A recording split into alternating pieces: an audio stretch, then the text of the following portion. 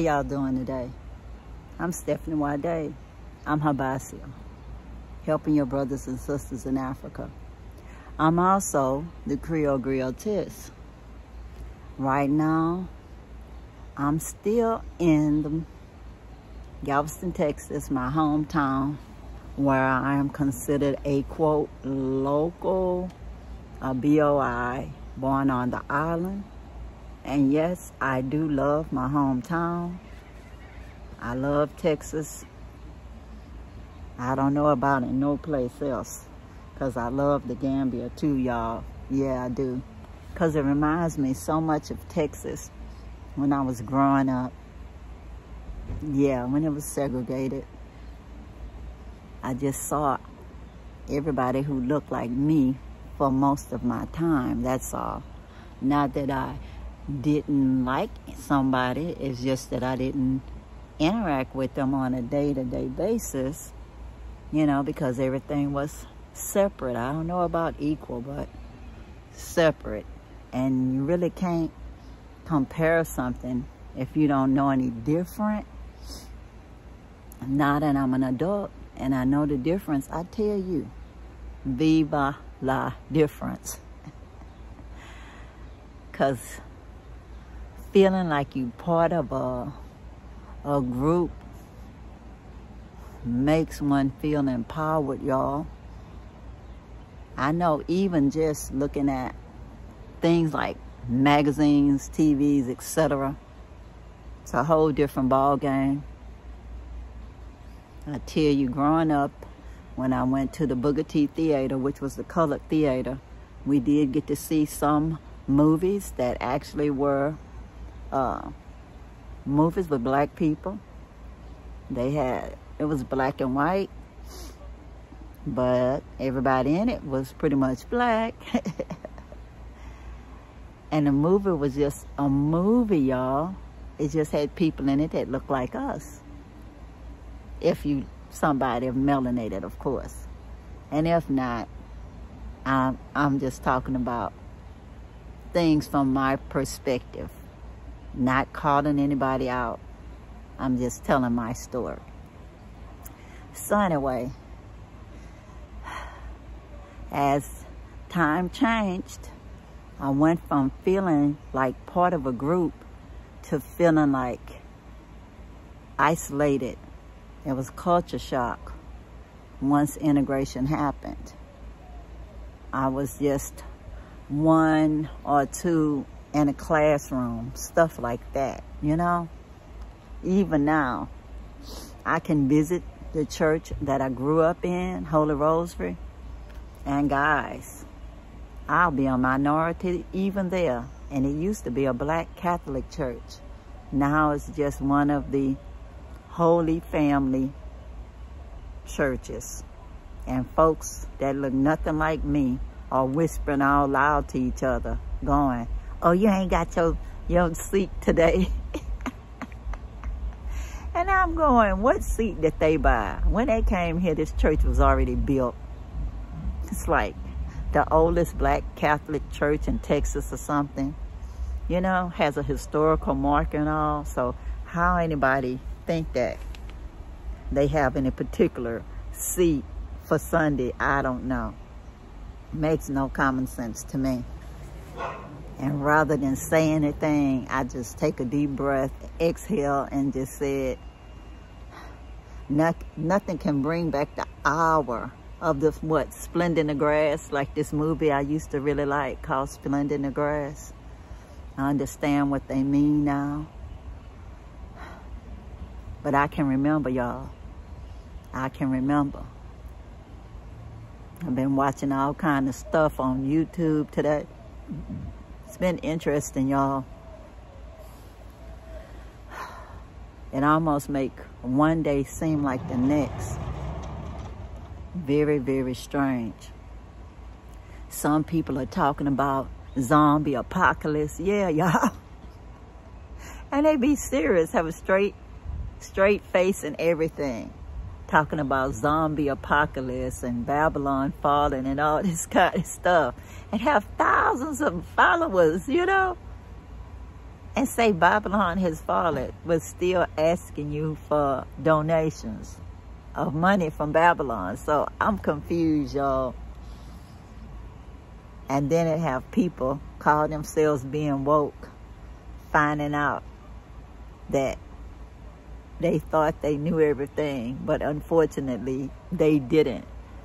And sometimes even when you try to warn people, they don't get the message. So they end up making unwise choices built on not receiving the information. Sometimes information is not meant for everybody at the same time.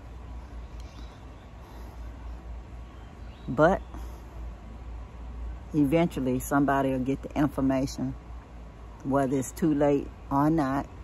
Sometimes you can salvage what you what you have, and sometimes you can't. Sometimes it's just lessons learned, and you just have to chalk it off to it was something you needed for your growth process while you still on this planet, you know.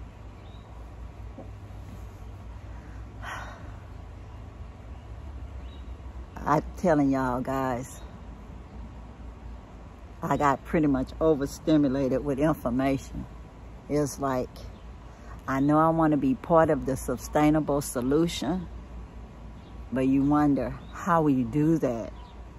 Nobody can do anything just by themselves. You have to get other people involved. And the only way you can start that is by interacting with people who actually can hear what you have to say and actually work with you. You know? So all I can say is thank the Most High that in the motherland you can pay somebody and afford to pay them for them to do some of the stuff you want to do. Even if just something simple as build a tiny house, you know, a tiny house even if it's one of those tiny houses that you make with recyclable products like bottles, whether it's glass bottles or plastic bottles and waste materials. You, it's doable, y'all. Making comp, using composting toilets, it's doable. So anyway, as I visualize the things that I'm going to do when I get back to the, to the Gambia, watching some selective videos is good and definitely have to eliminate most of the videos. Like I said, the ones that's talking negative all the time and borrowing stuff from soap operas and television shows just to scare the what hell out of people. I just can't take that my mind is just tired of all that stimulation. That's why I don't watch regular TV in the first place. Everything is about apocalypse. This is going to end. That is going to end. All I can say about that is, guys, nobody knows the hour. And no matter how much you have saved up, when it would be that time. Just like in those soap opera type shows on TV, it's going to always be people that's not prepared that's going to fight you to take what you got. And you uh, don't have endless supplies of stuff, whether it's food, bullets, or whatever. It's just not going to happen, y'all. We can be as sustainable as we are growing food all over the place. But if we don't get our neighbors to grow food too, we got a problem.